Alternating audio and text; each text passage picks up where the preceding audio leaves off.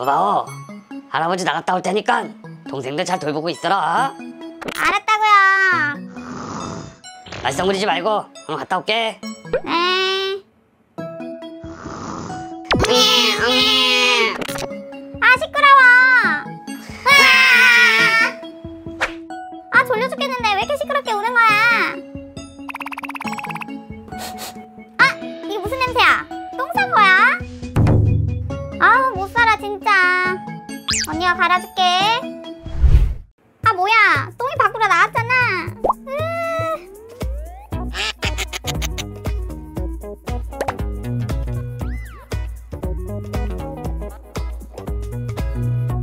기저귀는 쓰레기통에 버리고 이제 목욕을 시작해 볼게. 바디워시를 언니 언니 아 차가 하지 마라. 언니 언니 넌 또 왜 그래? 아 진짜 이것들이 한번 해보자 이거지?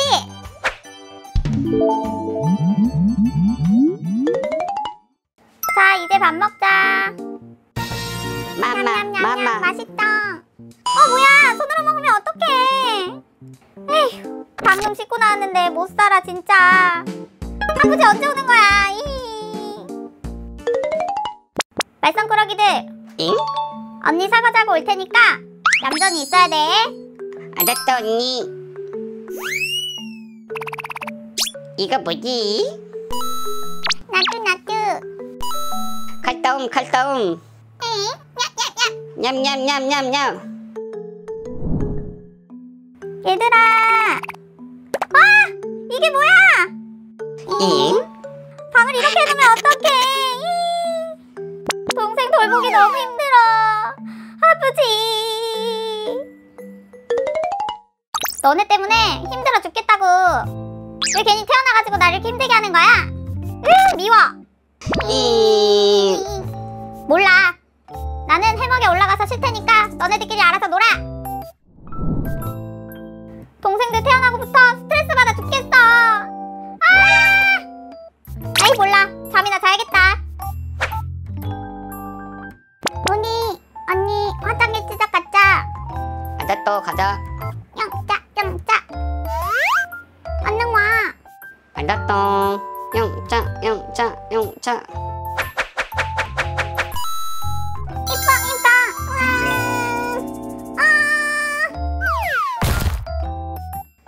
얘들아 무슨 일이야?